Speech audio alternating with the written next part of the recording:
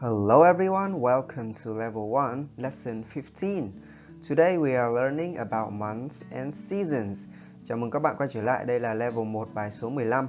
Hôm nay chúng ta sẽ học về tháng và mùa. Nếu đây là lần đầu tiên bạn xem video của mình thì đây là nơi mình chia sẻ phương pháp và các bài học về tiếng Anh giao tiếp cho đối tượng là người mất gốc, học sinh, sinh viên và người đi làm. Hiện tại mình đã có hai chuỗi bài học là level 0 chuyên về phát âm và 200 từ thông dụng nhất và đã xong rồi. Còn level 1 về phần giao tiếp cơ bản thì mình đang thực hiện. Tất cả những đường link về những khóa học này mình có để ở phần mô tả phía dưới. Bạn có thể kiểm tra để xem trước sau đó quay trở lại đây ha. Let's go! Ok, đầu tiên thì mình sẽ đi học một vài từ vựng có liên quan đến chủ đề này. Từ đầu tiên đó là month. Month rồi, đây là tháng. Và nó có thể là danh từ đếm được. Ok. Month. Đây là cắn lưỡi thổi. Month. Từ tiếp theo. Year. Year. Ok, year là năm. Đến tết thì mình hay nói câu là happy new year. Thì từ year này là năm đó. Chúc mừng năm mới. Happy new year. Ok. So, there are 12 months in the year. There are 12 months in the year. Ok. Từ tháng 1 đến tháng 12. Ok. Đầu tiên này, đây là tháng và phần bên phải này sẽ là phiên âm. Lưu ý thì tháng luôn luôn viết hoa chữ cái ở đầu. Ok. Bây giờ các bạn sẽ nghe và đọc theo mình luôn. January. January. January. Okay. Next, February. February. February. Next, March. March. Đây là âm ch, tròn môi bật. Ch. March. Next, April. April. May. May. June. June à đây là âm. Tròn môi bật có rung j j. June July. July. July. Nhấn vào âm sau. July. August August August cái này cũng nhấn vào âm sau luôn. Tiếp. September. Bốn cái tháng cuối này nó sẽ nhấn ừ, đều ba tiết và nhấn vào âm giữa. September. September. Ok, các bạn nhìn thấy chữ như thế nào thì đọc như thế thôi Mấy cái sau này dễ. Tháng 10 này October. October. October. November. November. December. December. December. Ok.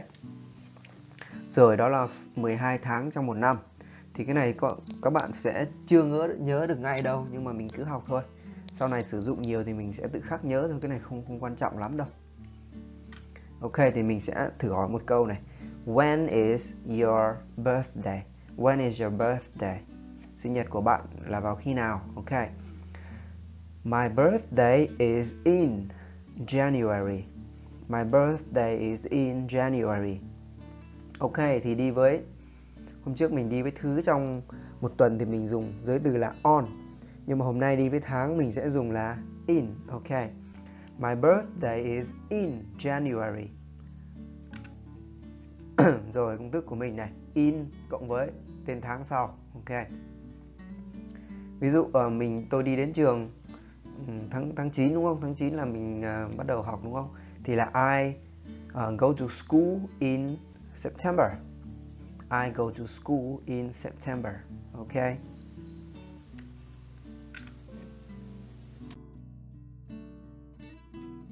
Okay, now let's learn about seasons. Okay. Từ đầu tiên này, season, đây là mùa. Okay, season. Season, cái này có thể đếm được. Seasons. Ok, đây vẫn là year. Ok. There are four seasons in the year. There are four seasons in the year. Ok. có bốn mùa trong một năm. Ok, the first season is spring. Spring. Spring. Ok, spring. Spring, mùa xuân. Next, summer. Summer. Okay. Next, fall. Fall. Fall. Okay, mùa thu. Uh, fall là dùng ở Mỹ, còn ở Anh là dùng autumn autumn autumn autumn okay đây là fall okay and last one winter winter winter OK. rồi mình sẽ có một câu như sau what do you do in summer what do you do in summer rồi đi với mùa mình cũng dùng giới từ in luôn Um, I go to the beach. I go to the beach. Vào mùa hè thì tôi đi ra biển chơi thôi. Ok. What do you do in summer? I go to the beach. Ok. Như vậy là đi với mùa thì mình cũng dùng giới từ là in. Ok. Rồi thì uh, từ um, mùa này, tháng đúng không? Những cái tháng như mùa thì mình sẽ dùng giới từ là in. Ok.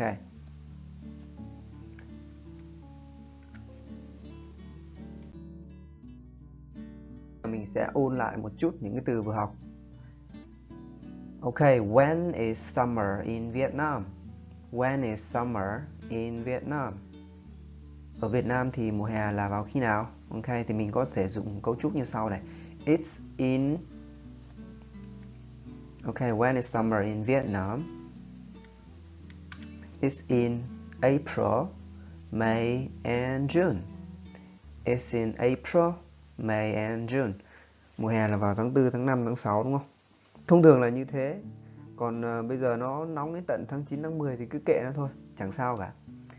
When is summer in Vietnam? It's in April, May and June. Okay, next one.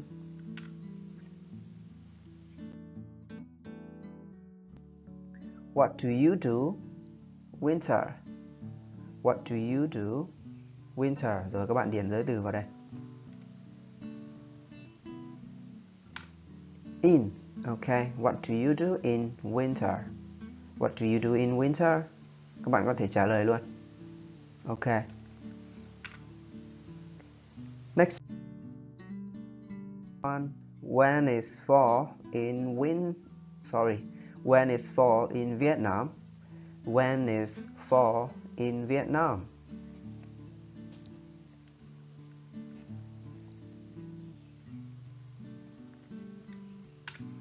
Okay, it's in July, August, and September. Okay, fall in Vietnam is in July, August, and September. Okay.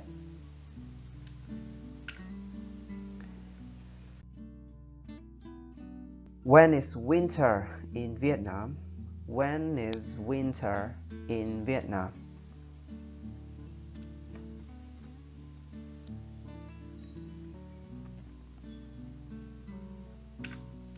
Okay, it's in it's in October, November, and December. Okay, winter in Vietnam is in October, November, and December. Okay.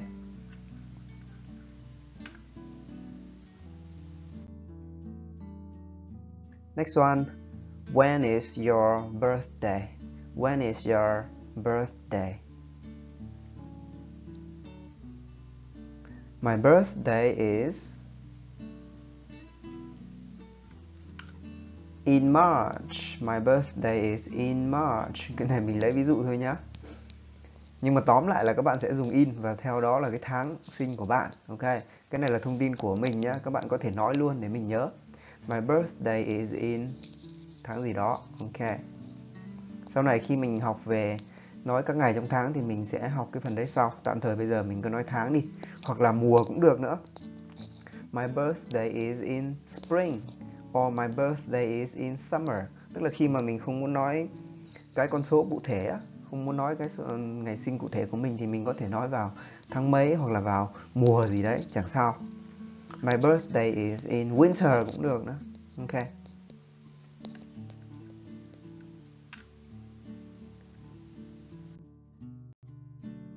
Let's apply bây giờ mình sẽ vận dụng để viết và nói một đoạn liên quan đến ngày tháng đến tháng và mùa nhé vận dụng cả những cái kiến thức đã học những bài trước đây rồi nữa ở đây mình sẽ lấy ví dụ này There are four seasons in Vietnam spring, summer, fall and winter. It's very hot in summer and cold in winter. Cái cấu trúc it's này để mình để nói về thời tiết cũng được ha. Ví dụ này, hôm nay trời rất nóng đúng không? It's very hot today. Ok, chỉ cần dùng cụm it's này thôi. It is đó. Okay, next. There are 12 months in the year. In Vietnam, summer is in April, May and June. Fall is in. Winter is in. Spring is in. Rồi các bạn tự điền vào nhé. My birthday is in January. Okay, my birthday is in January. My mother's birthday is in summer. My mother's birthday is in summer. Đây là cấu trúc sở hữu cách. À, tức là không dùng uh, tính từ sở hữu nữa. Mà đây mình ví dụ có một cái chủ ngữ đằng trước xong mình phẩy một cái, mình s ở đây một cái rồi danh từ phía sau để biểu thị rằng là cái danh từ phía sau này nó là của cái, cái chủ ngữ đằng trước này. Chỗ này thay vì nói là mother thì mình hoàn toàn có thể thay bằng một cái người khác. Ví dụ my father's birthday is in summer. Nhưng mà mình phải đọc cái âm s này nhé. My mother's birthday my father's birthday is in summer. Tết holiday is in spring. Tết holiday is in spring. Um, Tết cổ truyền là vào mùa xuân. In summer, I often go to the beach with my friends. Okay. Beach là bãi biển. I like fall because the weather is nice and cool. Weather là thời tiết, khí hậu. I like fall because the weather is nice and cool. Cool là kiểu như dịu mát ok? Uh, xe xe lạnh thôi nó không lạnh bằng cold ok? Cold là lạnh còn cool cool ngầu đó là nó xe lạnh một chút và có thể nói là uh, thời tiết mát mẻ ok? The weather is nice and cool in fall. I don't like winter because it's too cold okay I don't like winter because it's too cold. Ok, đây là một đoạn ví dụ này. Bạn có thể nói chi tiết hơn. Ví dụ vào mùa mùa xuân mình làm gì, mùa hè mình làm gì.